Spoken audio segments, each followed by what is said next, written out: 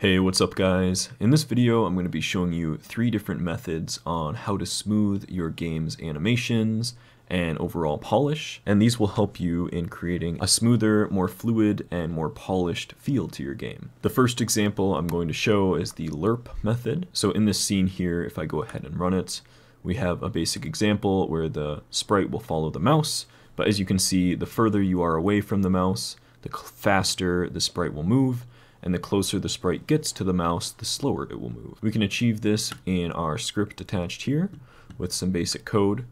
And in this example, we are using the lerp method. Now, at the top here, I've defined our speed, and I've obtained the sprite reference with a basic onReady variable. And then I also define our intended position at the top, and I'll be setting it inside of our process function here to our local mouse position. After we've obtained the local mouse position, we can set sprite.position equal to sprite.position and lerp this over to our intended position. And the second argument for our lerp requires us to send in a weight. Now the weight is essentially going to be the percentage along the path that we will lerp to. So if our position started at 0, for example, and we wanted to lerp over to 10, if we gave it a weight of 0.5, we would lerp our position up to 5. And if we gave it a weight of 0.8, we would lerp our position to 8. Now, as you can see here, our lerping weight is going to be our delta time multiplied by speed, and speed is set to 4, but you can obviously change this.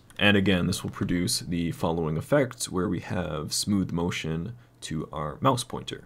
Now another thing to note that lerp is not limited to just position, but you can also use it for rotation, scale, and even just basic variables, and this is obviously very helpful for smoothing out motion in your game. The next example I have here is going to be our cubic interpolation. And this will essentially do the same thing, but instead we have to define a very specific method for interpolating between four points. So if we go ahead and look at the code on this node, at the top we are getting a reference to the sprite so that we can move it. Then we are going to define an array of points. Now this is just so that we can get all of our points which we define in the scene, and these points are going to be the marker 2D nodes. So to get this on the ready function, we're going to say points is equal to get the points dot get children, and now we'll have a reference to all of these markers. Now we can use these markers inside of our process function, and essentially we're going to set our time equal to the h slider value. And this is so that I can dynamically move the slider to move the sprite along our interpolation animation. And then we are setting the sprite's position equal to our cubic Bezier curve. And the points are going to be the point 1, which is the zeroth index, dot position, and then so on. We're getting the first point or the second one, and then all of the rest of the points, and then we are simply passing in our time, which again is the slider value. Now the real focus in this script is the cubic Bezier function, and we are defining that function right down here, which will simply take in four points and a weight, and then we are going to lerp all the points together to return s, which is our value along all of the points respectively. Now, if we go ahead and run this scene, I will full screen this so that you can see, but I'm going to drag the slider and you can see that our sprite moves in a very smooth arc and it kind of arcs between all of the four points. It will always start at the first point and end at the fourth point, but these two handle points will influence the direction, just like a Bezier curve which you can define in the curve resource. Now you might be thinking how you can achieve the same example by just using a simple Bezier curve resource, and you can do that, but the benefits of using nodes like this and using this cubic Bezier method is that you can more dynamically define the points. So let's say you wanted to move a curve between a few different entities in your scene, and the entities could move around dynamically. This cubic Bezier method would always ensure that your curve is smoothly between all of the four points. And like shown, I can adjust these points. So if I put this one back here per se, put the other handle down here, it would create a more interesting Bezier curve. And you can see I go up slightly to way towards the first point, and then the sprite moves down towards the second handle, and all the way to the last point. Now our final example is going to do with animation, and it's along the same lines of using curves. We have this basic animation in the scene, and I've called it a rough animation. Now it will autoplay with the autoplay button here, and we've also set it to loop. If we go ahead and play the animation, we're going to see some very jagged movement, and the animation loops just how we want it to, but the movement is very jagged around the corners. Now there's a couple ways to fix this. The first and easiest option is going over to the tracks interpolation type and instead of setting it to this sharp yellow angle, which is linear interpolation, we're going to set it to cubic. Now if we play the animation once again, you can see that much like our cubic example, the position will be animated a bit more smoothly. If you want to go a step further, we can define this track as a Bezier curve track.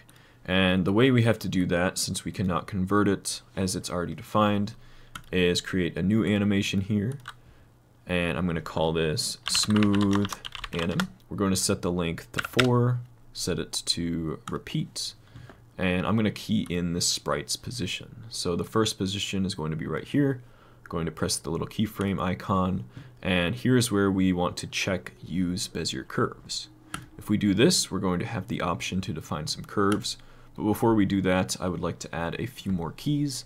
So I'm going to go to our one time frame, add a position in right here, and do the same thing to add a few more positions. When we get to the end of the animation, I also want to duplicate the first frames. So I'm going to zoom in a bit here, go to the end of the animation, select our first keyframes, right click and say duplicate. And now, if we want to go into the curve editor, we simply click this icon at the bottom to toggle between our Bezier curve editor and we will have the option to edit all the values and the handles for this animation's curve. Now I'm going to expand this a bit and the animation is going to be kind of small, but let me just show the animation quick. So right now we have the same type of animation where it's cubic, but it's still pretty sharp. And if we wanted to add any sort of acceleration to the curve, we could do that easily by adjusting our handles in the curve editor. So let's say I selected all the handles quick.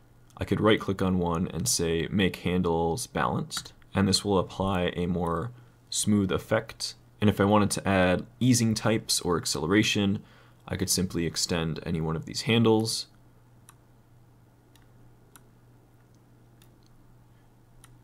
and adjust the animation much more specifically. I'm going to right click on this handle and make the handles free so that I can drag this single one. And now if we look at our X position on the sprite, since that is the curve which I edited, we have much more snappy movements and they kind of ease in.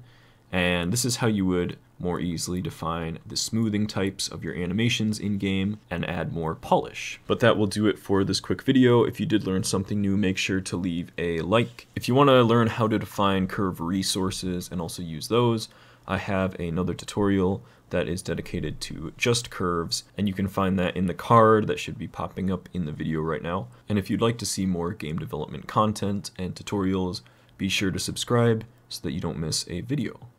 Thanks again for watching, and I'll see you in the next one. Bye.